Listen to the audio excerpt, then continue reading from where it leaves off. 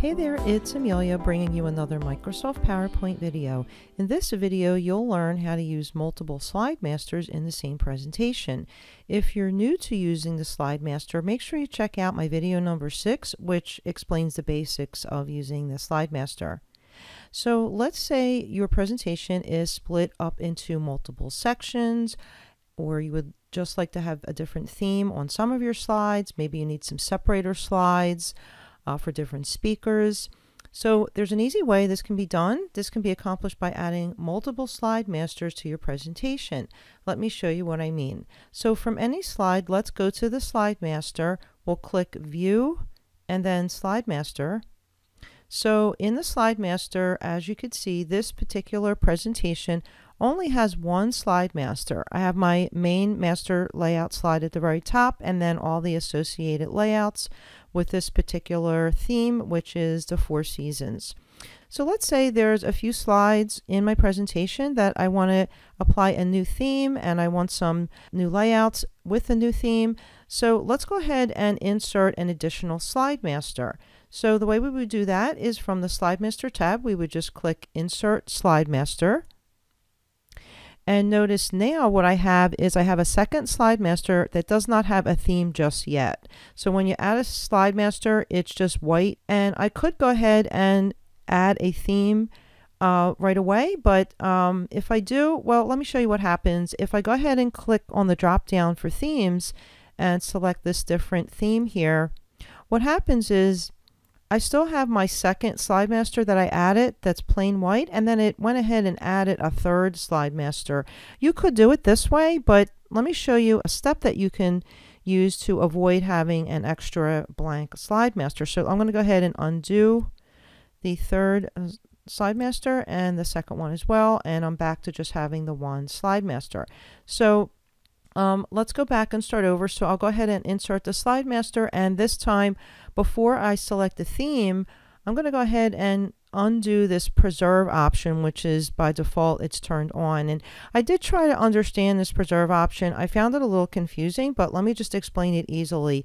Basically it's turned on and if you turn it off you'll see this prompt and it'll ask you if you want PowerPoint to delete the masters and I want to say no because I want to keep this. And when I select the new theme, it applies the new theme to that particular slide master and it does not create a third slide master. So as you can see, I have my original slide master and the layouts and my new slide master with all these new layouts. So now let's see how we can use that new slide master in the presentation. I'm going to go ahead and click close master view and I'm back to normal view and now let's see now there's about three slides that I would like to use a different type of a theme, maybe something business related, something a little different that maybe enhances the green. So let's say I want to apply the new theme to three slides. I could either hold the control key down and click on the other two slides, or I can hold the shift key down, click on the last slide, and now those three particular slides are selected. Then I press the right mouse button and select layout. Now when I select layout, notice that I have my original theme, the four seasons with the associated layouts, but now I have my new theme from my new slide master. And if you already have content like I do on these slides you want to be careful that you don't pick a layout that has a lot of placeholders because then you'll end up having to delete the extra, extra placeholders. So in my case since I have some content on my slides I'm going to select blank and that looks really nice because it matches with the colors in my uh, bar graph. And uh, what you'll need to do is maybe just make some adjustments because if you have like I said if you have content already and you select a particular uh, new theme or layout sometimes things move around um, on the slide so I'm just going to go ahead and wait till I have my four-headed arrow move that around and maybe move that this to the center.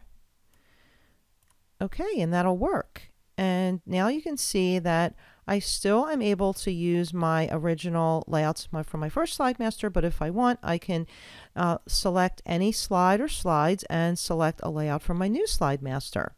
Well, that's it for today's video. If you found this video helpful, please leave a comment below.